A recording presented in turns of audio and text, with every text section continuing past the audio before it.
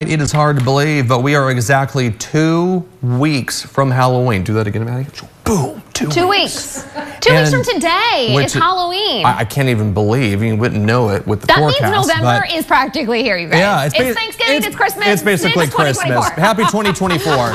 uh, well, okay, let's get back to Halloween for a sec because sure. on that morning you can join us for our annual Sunrise Spooktacular. Oh, I'm so excited. This is our favorite time of year. We get to see all of the cool creative costumes. And we also get to dress Kevin up uh, in a surprise costume, which is always one of our uh, favorite things to do. So come on out and join us 5 to 7 a.m. outside of our studios. Um, we are going to have some Halloween goodies. We're going to have some really fun spooky decorations.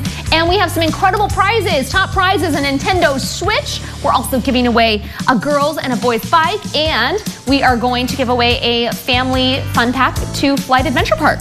And again, going back to what we were talking about earlier, Kevin Charette will be dressed up as well. Here's another clue for you all. And by the way, Kevin doesn't know what he's going to be. He will find out okay. Halloween morning. Here's another clue. Kevin will be all dolled up. No, it's a good one. And I said he would be looking rather tubular yeah. earlier. So